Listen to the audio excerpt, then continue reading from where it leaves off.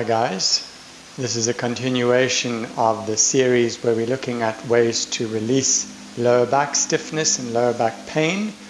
And in this video, I'm going to be showing you a way of releasing the hip flexors. Uh, little more than in the previous video, uh, but pretty simple. What you'll need for the first exercise is a couple of balls. I'm using these balls called Sensi balls, which are actually filled with air. They have a valve in them, which are quite nice. And if you don't have those, you can use tennis balls, you can use these bouncy rubber balls, whatever you have available. If you don't have balls at hand, you can just use a couple of thick uh, socks or rolled up tea towels, something that creates a bit of space Okay, so we're going to start on our belly and you're going to place the balls under the front of the pelvis like this in the crease of the pelvis.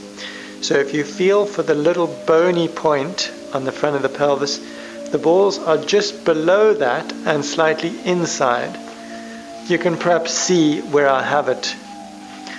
And then turn your thighs in slightly so that the heels drop out a little so there's a little feeling of the kneecaps facing each other.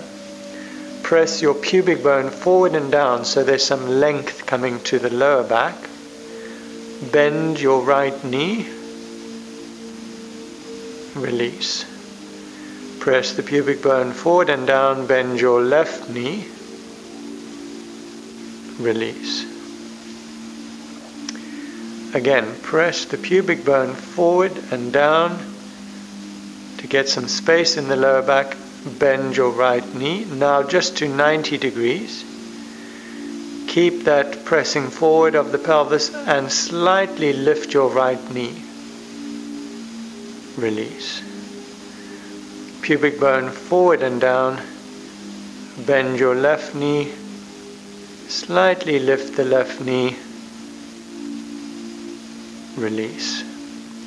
Let's do that again. Pubic bone forward and down, bend your right knee, slightly lift the right knee,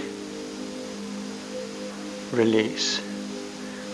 Pubic bone forward and down, bend the left knee, slightly lift the left knee, release.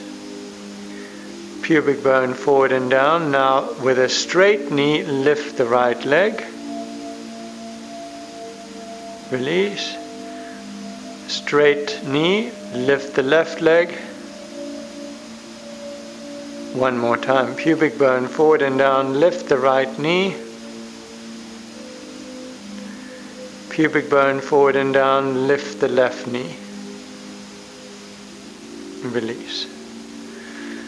Press the pubic bone forward and down and then remove the balls from under the front of the pelvis on your hands and knees. Lengthen the back of the body by pressing through the hands, through the knees. Press your hands and knees away from each other. Release the head. Now see if you can breathe into the belly in this position. Lengthen the front of the body a little.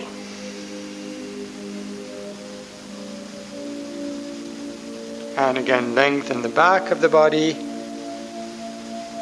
Really lift your ribs, press through your hands, press your knees and hands away from each other. Breathe in. Lengthen the front of the body. Now we're going to do a release using a lunge position. Take extra padding under your knees if you need it. Take your left leg forward and you can use a block for the right hand so we're going to make little circles of the right knee through the ankle like this. So you see my knee is going slightly past the ankle and then the other direction.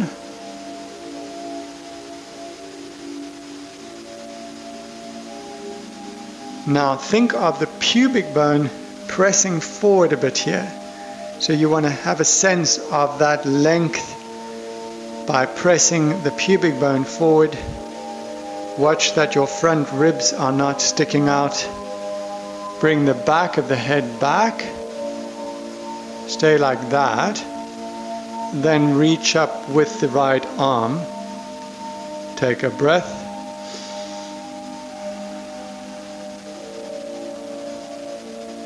Come back from there and switch sides.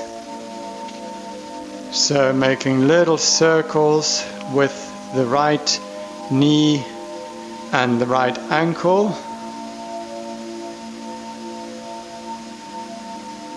Change direction.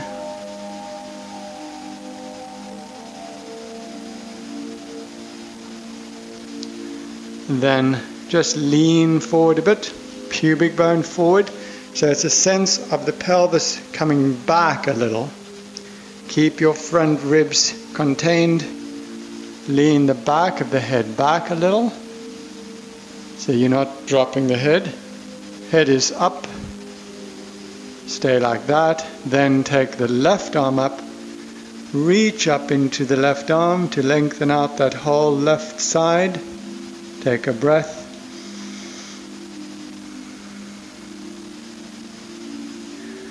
Then after doing that, we'll release the lower back again.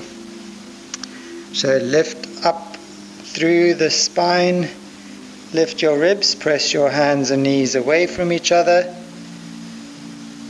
and then lengthen the front of the body. One more time, lift the ribs, press your hands and knees away from each other, release the head. And if your knees allow, sit back toward your heels, rest your forehead down, release the lower back.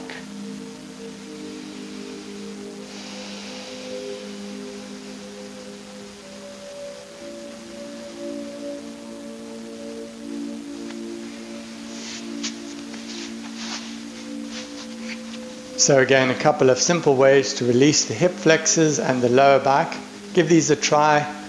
If you're someone who has to spend a lot of time in the day sitting, these may be helpful for you to release a tight or painful lower back. Thanks for joining me today on Nomad Yoga. Namaste.